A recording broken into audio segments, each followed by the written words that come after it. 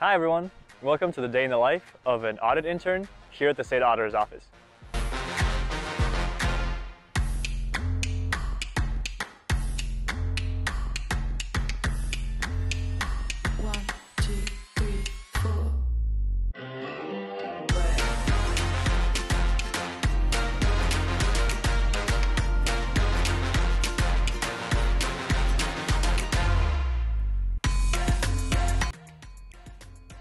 Oh hi, didn't see you there. What am I up to? I'm working on creating more informative audits to improve our government and make sure that our tax money is being put to good use. So what I would normally do is I would come into the office right after class and I would first check in with my manager uh, to make sure that we're kind of on track with what work I have going on. And then what I do is he'll point me in the direction of one of the other coworkers and then they will show me the projects they're working on and show me what I can help them with.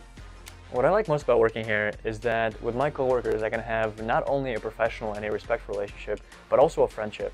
For example, we go on walks together around the capitol, we spend time together during our breaks, we laugh, we talk about our weekends, and we just have a good time.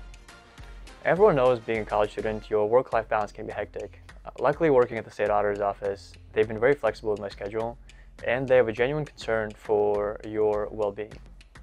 One of the interesting things about this internship is that I started when the legislative sessions began, so I get a chance to learn more about our local and state government. Fun fact about the state auditor's office is that the accounting work that we do here has nothing to do with your taxes. Instead, what we do is we make sure that your taxpayer dollars are being used properly by the government agencies. Here at the state auditor's office, we value respect, leadership, integrity, excellence, and teamwork. With 58 employees across Bismarck and Fargo, we enjoy teamwork and collaboration, and an occasional treat.